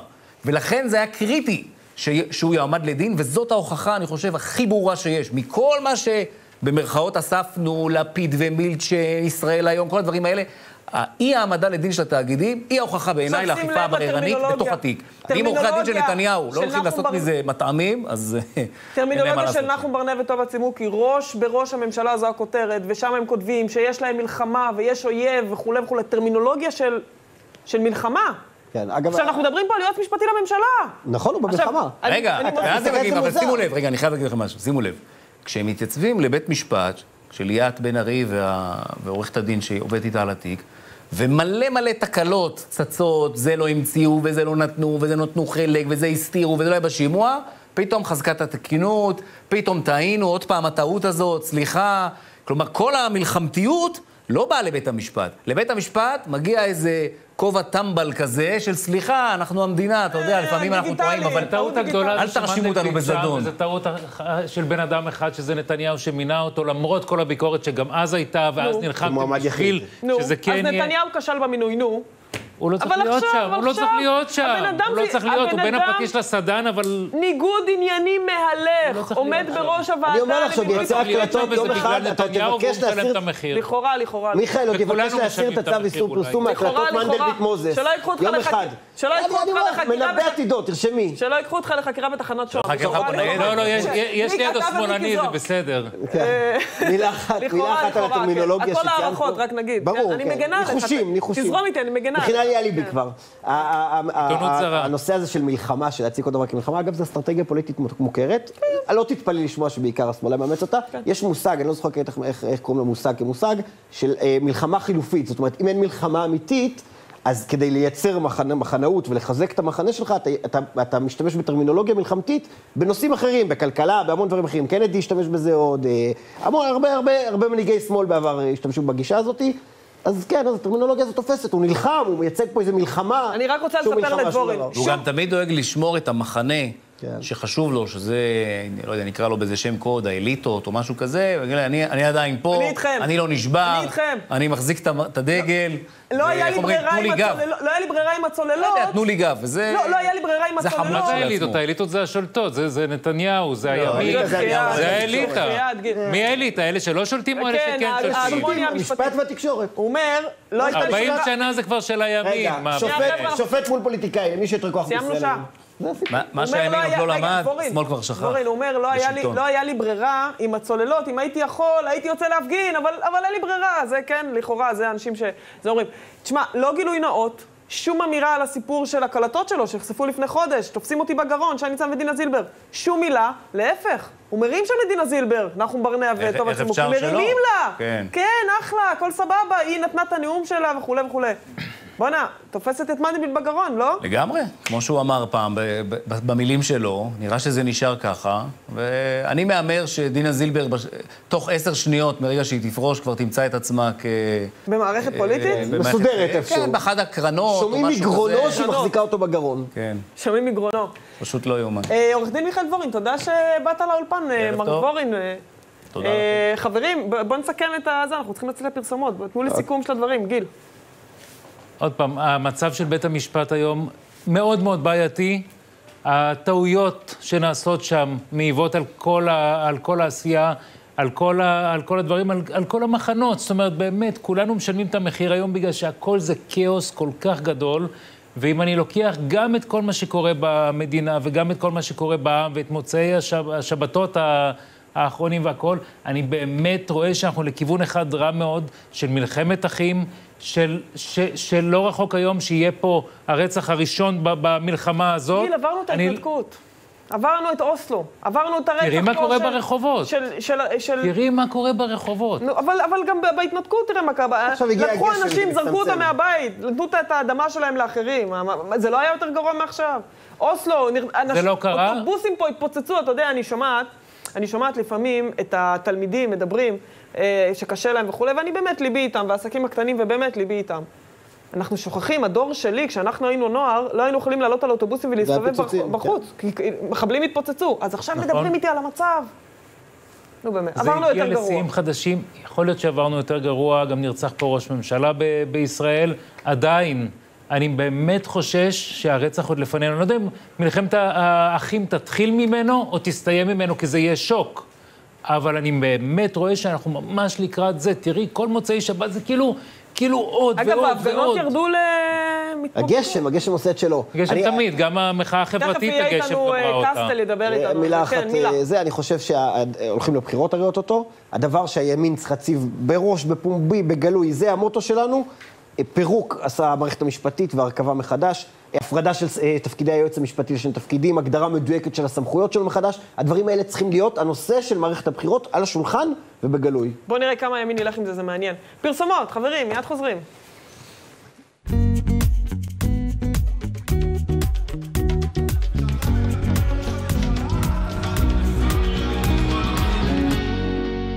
סעדי בן שטרית. כן, חזרנו. בואו נדבר קצת על ההפגנות שהולכות ומתפוגגות. שלום למוטי קסטל, ערוץ 20, מה נשמע? שלום, בסדר גמור. מה? אה, מה אתה סד- תספר לנו? סעדי בן שטרית. תכף נדבר על הצוללות, כן. זה מתחבר. הכוכב העולה כן, כן. בשמי השמאל, אה, אמר אתמול בבלפור שהוא לא אמר את המילה היטלר. כשהוא השווה את נתניהו להיטלר, הוא רק זיהה תהליכים. כמו שהם יודעים לזהות תהליכים. באמת. אבל אה, יש אה, כמה פוסטים בדף הפייסבוק שלו, ששם הוא משווה את נתניהו להיטלר. גם אה, הצדעה במועל יד, גם רושם במפורש, אה, משתף פוסט של איזה מישהו שבגרמניה, את היטלר, ראש הפשיעה, דנו וכולי, ופה, וככה יעשו גם לשותפיו. הנה, אנחנו רואים. פשיעה השלטונית. דברים? שהוא שיתף, זה הוא, נכון? הפייסבוק הזה. זה הפייסבוק שלו, שהוא משתף אה, עוד אחד המחאה. איי. נזכיר לכולם שאת היטלר העולם לא דן, וואו, אבל את איזה שותפיו תמונה. כן. תורידו, תורידו, אני לא רוצה לראות את התמונה הזאת, מזעזע, מטורף. בכלל, ההשוואות להיטלר, גם רץ אתמול כן. רץ אתמול סרטון שמה, שהם אמרו שהיטלר מגיב לסעדי בן שטרית, איך אתה משווה אותי לביבי? זה נורא מצחיק אותם, כל האזכורים האלה של זכר השואה. אה, נדמה לי שגם את זה אנחנו נוכל לראות. כאילו היטלר אומר, לי אין שלושה כתבי אישום, משהו שרץ מאוד חזק בדפים של השמאל. אה, מאוד מצחיק אותם בכלל, כל וואו. אה, זכר השואה. איזה מטונף. בכל טוב, אני, מקרה, אני אתמול... מכירה גם את השיח, אני חייבת להגיד, אה, מההיכרות שלי עם המאבק של המסתננים בישראל, אני מכירה את השיח הזה. באמת, זה בכל מקום, כלומר, אה, בזמנו אפילו, עזבו את, ה, עזבו את השוליים, במיינסטרים, כשהיה את כל הקמפיין החזרת המסתננים לארצם, היה, אפילו, אני זוכרת, בתוכניות בגל"צ, בערוץ 12 וכולי, על, המ, על המסתננים או מבקשי עבודה שהשוו אותם לניצולי שואה, ועל כך שאמרו, אנחנו נחביא אותם בעליות הגג. מה זה עליות הגג? נכון, נכון. לא רק זה, גם... אז אה, זה במיינסטרים היה.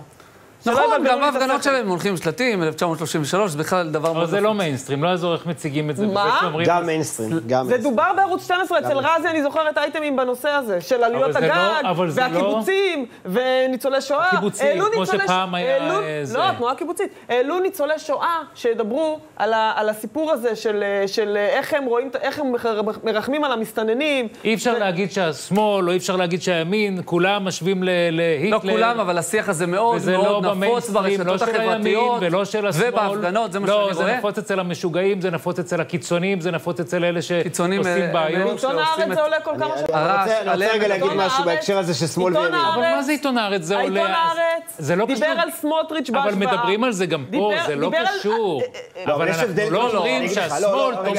בזה, כמו שאני לא אומר שהימין. תומך, כולם עכשיו נגד הורים שכולים, לא אומר אתה כזה יכול דבר. להשוות, אתה יכול להשוות שמדובר באורלי לב או בסדי או כל מיני כאלה שסתם מבלבלים את המוח, בסדר. כשזה מגיע למקום רעיוני, למאמר בארץ, שכאילו כבר יוצר פה איזה לא, רעיון לא או איזה מסכים, תזה, לא זה מציק לי עוד לא, יותר. לא אני בכלל לא. מקבל את כל הנוכחות של הנאצים בשיח הישראלי. נכון. אבל אם כבר, כשזה מגיע לרמה רעיונית, זה באמת מסוכן. כשאתה בא ומשווה ובונה איזה תזה אבל זה לא שהשמאל עכשיו בעד זה. זה נורא ואיום, זה לשים לא באמת השוואה בעד זה, בעייתית. זה בדיוק כמו שתגיד שעכשיו הימין בעד לא, אה, להפגין נגד אה, הורים שכולים, זה לא נכון. זה אנחנו רואים רק בשמאל. רק אצל מזהים תהליכים, הם לא משווים לנאצים, הם רק כל מיני מזהים חשבונאות תהליכים. כזאת. זה, לא נכון אני אגיד לך עוד להגיד, משהו, ממש, אני אגיד לך עוד אה, משהו. זה הסתה. זה מתהפך עליהם גם, וזו טעות לא, שהם עושים, טעות טקטית. אה, גולן, אמיר- לא אמר. השכל עומד אתמול בהפגנה ואומר שבעשור שקדם לעליית הנאצים יאיר היה גולן שני משברים כלכליים. כמה שבועות, לא אבל הוא אמר את זה. היה היה נכון. שני משברים כלכליים וזה. עכשיו, מה הוא שכח לציין? איך הנאצים עלו לשלטון? דרך אנרכיה ברחובות והפגנות, אוקיי? אז אולי תשלים את החלק שחסר. ועוד משהו, יש איזה משהו שנכנס לקיבעון, לתודעה, כאילו השמאל העולמי לאורך השנים התפתח עם הקומוניזם, צריך להגיד את האמת, הקומוניזם לא, לא זרם לו למקום הנכון, סטלין התגלה כרוצח המונים והעסק לא דפק. אז מה, אז ניסו להציג פה איזה משוואה שבשני הצדדים יש בעיות. היטלר ימני, סטלין שמאלני, בכל כל אחד יש את רוצח העל שלו. אז צריך להגיד את זה אחת ולתמיד, ואני כתבתי את זה בטוויטר והותקפתי ברמה הזויה. הנאציזם צמח ברחובות, הפשיזם צמח מהשמאל. מוסוליני היה שמאלני, הקומוניסט במקור. ה-SA, ה-SA, הארגון שהקים עכשיו באמת. יבואו לקחת אותך מהמשטרה, וגם אל תתפלא. ה-SA, ה-SA. לא, לקחת את זה באמת אז לא, אז למקומות אז שמאלנים. זה לא קשור לשמאל שלנו. זה. לא קשור לשמאל אז שלנו. אתה אומר שגם לא, השמאלנים לא, אז אשמים בשואה. זה לא קשור לשמאל שלנו. תן לו להעביר. כשמציפים את זה אני מסתבך. כשמציפים את זה בשיח פה, צריך לזכור מאיפה זה בכלל מגיע, מאיזה אידיאולוגיה זה בכלל מגיע. לא לגעת בזה, אסור לגעת בנושא של נאצים, יש לנו מספיק ניצולי שואה כאן, מספיק אנשים שהם דור שני ושלישי. וגם לא ב- גם באוזן, לא בהורים שכולים. וגם לא. בהורים שכולים. לא סליחה, סליחה. אני חייב לומר לך משהו. נכון. הסיפור עם ההורים השכולים היה גינוי נרחב מכל קצוות ה... את הטלפון של ביבי, רק לא... לא לא ביבי גינה את זה, ביבי. גינה את זה, והוא לא אמור להתייחס לא לכל התקשר. משהו שפעיל אני זוטר. עושה. לא שמעתי אבל, אבל, התקשר. לא, בשוק לא, לא. מהטיעון הזה. אם אתה תיכנס לא לרשתות. החברתיות, אתה תראה שברשתות של השמאל, בתווים הגדולים, תראה את התגובות, בקריים מיניסטר, באין מצב, התהליכים והשואה ב-1933 מככבים שם, זה לא משהו של שוליים, אני לצערי, לא אומר ממש לא. שאצל הקיצונים לא. ממש לא. להפך, זה נורא. הלאה. ראש נמשיך. הממשלה נתניהו, אני רק רוצה להגיד, לא ביבי, בשבילי הוא לא ביבי. נתניהו. ראש הממשלה ראש נתניהו הממשלה, כן. אה, אה, גינה פעמיים את הסיפור הזה מחוץ לבית המשפחה השכולה. ומה אני אגיד לכם, אני כל פעם שו- שומעת למה לא מוקדם יותר ולמה לא הרים טלפון למשפחה. ומה התשובה? כי הוא גינה, מה הוא צריך להרים טלפון עכשיו? א', כאילו, הוא גינה, וב', לדעתי הוא לא צריך לגנות כל פעיל זוטר. זה שלקחו את זה התמונה לא, הורים של אותה שכולים פעילה, לא והפכו אותה. ל- ראש שכולים זה לא. עניין זוטר. בוא זה נסתכל משהו לא אחר, זה משהו אחר. אבל לא להפגין? נגד הורים שכולים, זה משהו אחר. ועוד לשלוח... הוא גינה. ואתמול נשלח הכתובת עם הזה מהבית שלו. אז אולי פעיל היה שם ליד הבית. וזה גם, אגב, חלק מתעשיית הפייק. ניוז. זה לא פייק. גם זה לא הוא היה. מתקשר, היו שואל- היו שואלים למה הוא לא. כן, סעדי לא בן שלח שטרית נעצר. אתמול. סעדי בן שטרית נעצר אתמול בהפגנה. לאחר שתקף אה, בחור בשם ישראל פרידלס, שמצלם שם אה, אותם ועושה עבודה מאוד יפה. אה, הוא? ניסה, יש הוא לנו תקע- עדויות? יש תיעוד שהוא מנסה להרחיק אותו עם, לחסום לו את היד עם הטלפ, את הטלפון עם היד. שוטר סמוי שהיה שם ניסה לחצוץ ביניהם, והותקף גם על ידי סעדי בן שטרית. הוא נעצר והובא לתחנת מוריה. שם אה, חיכו לו עשרות מתומכיו. אגב, אני הייתי שם גם, עברתי שם באזור, עצרתי לצלם, ומה שהיה שם זה שעמדתי בצד, בכוונה תחילה, כדי לא, את יודעת, שלא יגידו, עשה פרובוקציה וכאלו. הגיעו שם אנשים, חסמו לי את הטלפון, הקיפו אותי בקריאות גנאי, דחפו לי את המוטות שלהם, את הדגלים האלה, לתוך הפרצוף. זאת תעשייה של השתקה. השמאל, בהפגנות שלהם, והם מדברים על חופש הביטוי. עכשיו, אני חייב לומר לך, אפרופו ההשוואה לנאצים, באוזניי שמעתי, הם הגיעו לשוטרים והקריאו מתוך הטלפון. פלוגות הסער, האס-אס, היו טה-טה-טה. הבנת? בתוך הפרצוף של השוטרים, דחפו להם אה, טלפונים, וזו התנהלות מאוד בעייתית. זו התנהלות ששוב חוזרת על עצמה. זה עצוב לי לראות אנשים מבוגרים. את יודעת שהם מתנהגים, סליחה, כמו ילדים קטנים. כמו ילדים קטנים, נדבקו אליי, ואני אומר, אגב, הוא גם למה שיקר, ילדים אני לא קטנים לא עושים דברים רעים? אגב, אני רואה יוסיאלי. לא, אני אומר, אבל כתב עושים אה. חבר'ה, זה יותר גרוע מילדים קטנים. כתב חדשות זה- 13 זה- ירושלים יוסיאלי מפרסם גם את שהוא גם השיח, נתפס ל- שקרן. אה, אדון סדי, אה, הגרס- טען שהיה פרובוקציות והזה, אה, ואז התברר שיש תיעוד באירוע הזה. הכל והתברר מצולם, הכל פשוט מצולם. שיקר. יוסי אלי שמדבר על הביביסטים וכולי. שפלש כן, להפגנה, שעוד, אה, נכון, פלש שעוד. להפגנה, גם אגב, אני זה ניגשתי לאחד תועמלן. השוטרים, והם התחילו לצעוק. מה אתה מצלם, אתה עושה פרובוקציות, את מבינה, עיתונאי שעושה את העבודה שלו ובא לצלם, עושה פרובוקציה, בזה שאתה עומד עם מצלמה ומצלם בוא- אותה. בוא נראה כשעיתונאי שמאל יגיע לסקר הפגנת ימין, אם אפשר, אם יקראו לזה פרובוקציה. חבר'ה, תנו לגיל לדבר. כן. הדביקו אברמוביץ', מדבקות. אה, הוא באמת עשה מזה פרובוקציה, אגב. יערה, הדביקו זה מדבקות על? תחנת המשטרה. מישהו הצדיק את זה? חייבת להבין על מה מדובר. רגע? חברים. אנחנו בשני- אנחנו בשני העולמות פה בתוך האולפן. כן. הדביקו מדבקות על ושמאל. תחנת המשטרה עצמה, ושלטים על כל התמרורים מסביב. פשוט הזיה, אני לא ראיתי דבר כזה על תחנה.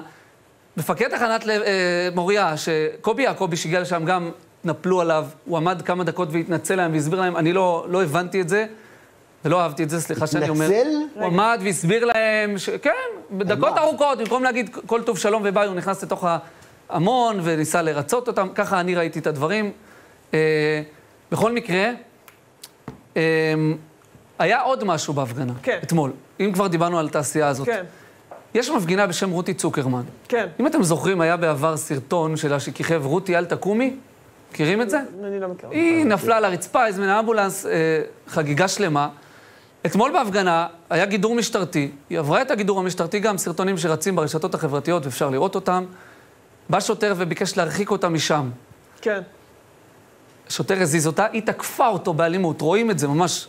תקפה אותו באלימות, ניסו להרחיק אותה, נשכבה על הרצפה, ופינו אותה באמבולנס לבית החולים, שערי צדק, וברשתות החברתיות, שוב אני אומר, גם מפנה אותך, תעקוב ותבדוק, אני רואה. הצילו, הרגו אותה, מה עשו לה, היא איבדה הכרה. גינויים גם מהקשת הפוליטית. עורכי הדין שלהם, חברי כנסת לשעבר, אה, תגיד, לא היה-. היה ניפוץ של שמשה אתמול של אוטובוס?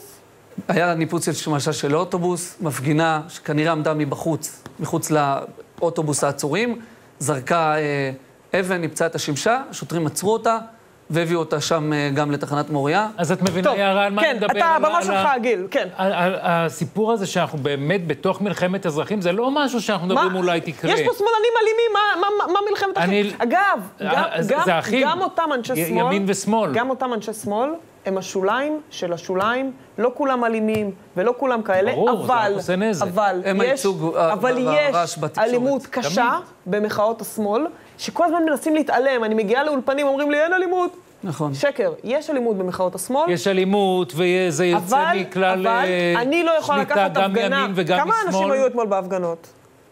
ממש- זה ירד... אה, כמה מאות. כמה מאות בודדות, כן. אני לא יכולה לקחת את השיא. הכמה מאות האלה ולהפוך את זה למלחמת אחים במדינת ישראל. הלו, תרגיעו, רוב הציבור אה, לא, קם בבוקר לעבודה, שם גיל- את הילדים בגן גיל שאפשר... הציף נקודה אה, חשובה, כי בסוף אם חלילה זה מידרדר למקום של. רצח או משהו כזה, זה אדם אחד. אתה לא צריך אה, אבל- אבל אה, מאות אנשים שיעשו כזאת אבל פעולה. זה לא מלחמת אחים, לא מדברים פה על מלחמת אבי, אבל כשאנשים. שמנהלים אותם, רושמים בדף הפייסבוק שלהם את האישומים החמורים האלו נגד המשטרה, שהכתה ו- ועשתה למפגינה ברור הצדיקה והתמימה, שלא עשתה דבר. ברור שזה יכול להוביל איזה בחור תראה צעיר את לעשות התגובות לך שם, משהו, אין אחת ספק. כותבת שהידיים של השוטרים תישברנה.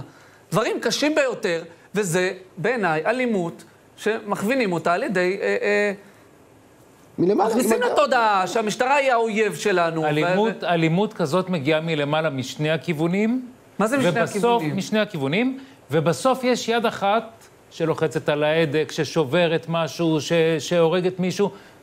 אגב, ברגע כשמישהו- שיש אווירה כזאת, בסוף מישהו הולך וחושב שזה בסדר. אבל אם קוראים לו ברוך גולדשטיין. ואם לא, קוראים לא, לו לא, אה, לגנות יגאל עמיר, ואם צריך לגנות אלימות. בכל מקום בו היא מגיעה. נכון. אבל אני אומר, הפוך, אם אנחנו מדברים על ההסתה, לקחת את המקרים של איזשהו אה, מישהו שריסס גז פלפל ב...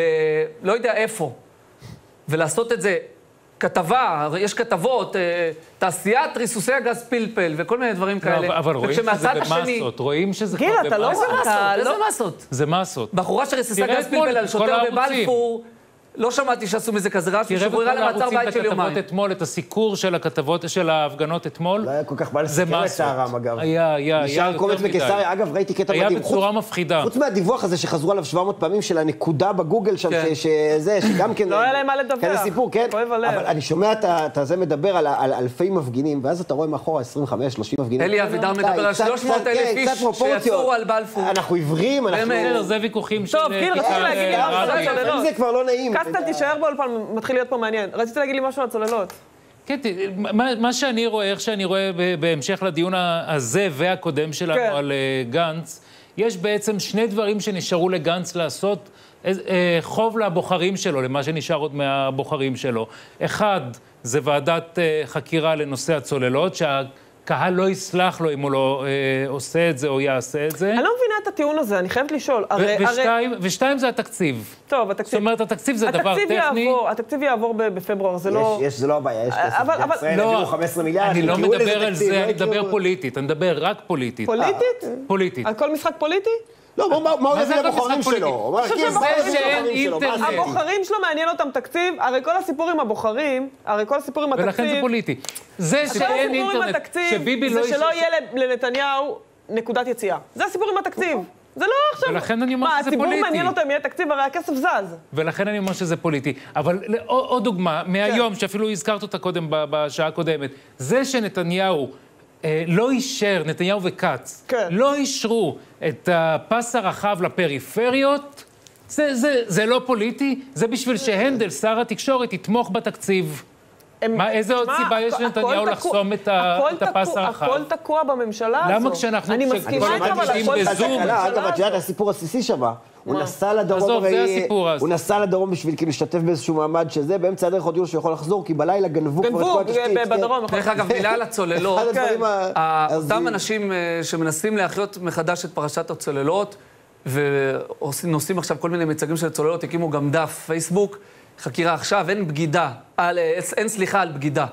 ככה זה קורה, הם גייסו, זה הם הטרמינולוגיה שמנסים. לא- הם גייסו בתוך שישה ימים למעלה במה. מ-100 אלף שקלים. לא, אבל זה קורה, חשוב. לדעת אבל את הדברים, הם אני- גייסו למעלה אתה מ-100 אלף. שקלים. לא הרי- אם על זה זה. היה איש ימין. אם זה היה איש-. ימין, זה היה פותח את המהדורות של 12. אתה מתייחס גייסו למעלה שחלילה יקרה משהו? רק אחרי שמישהו יוציא אקדח? הרי זה מה שטענו בזמנו על זאת הפגנות הטענה האלה. שלי על שלא הציפו המלחמה מספיק את ה- בינינו. הנה, השלט ההוא יש לי- של רבין במדינה. הם כותבים את המילה יש לנו 40 בגידה. שניות, הם חבר'ה. זרקו לך מוחים, מציפים יש לנו 40 הם שניות. כותבים את המילה בגידה בריש גלי, זה מה שמככב, הם עכשיו אספו למעלה מ-100 אלף שקלים כדי להחיות את הצוללות. אתה יודע מה זה? שנייה, אני חייבת. שאלה, אני חייבת שאלה. הסיפור הזה שרוצים להקים ועדת, מה זה, גנץ הקים ועדת חקירה בתוך הצבא, ועדת בדיקה בתוך הצבא. מה זה אומר על החלטות היועמ"ש? הרי הוא החליט. אני חושב שזה מתנה לביבי, וזה יכול להיות חלק מהדרישות של ביבי, שיראו, ש... של נתניהו בשבילך, בשביל טוב. שיראו שהוא. נקי. והלוואי, מתנה. הלוואי שהוא יהיה נקי. הלוואי שהוא פרשת יהיה נקי. הצוללות בכל הסיפור הפוליטי, זירו מה שהולך לצאת. זירו, תזכור. אפס. הלוואי. אפס. מאחל לא לנו. הולך לצאת אגב, כלום. שימי לב על- שימי לב על הטיימינג, אה, נקודה אה, חשובה. הטיימינג. לפרסום. חבר'ה, סיימנו את השידור. הטיימינג זה עוד ארבע אה, חודשים. בואי לא, יש. לנו פרסומות. פרסומות, חוזרים אחרי הפרסומות. פרסומות, מוטי קסטל, תודה. פרסומות, חוזרים מיד אחרי, עמית דרעי יהיה כאן ויהיה מעניין.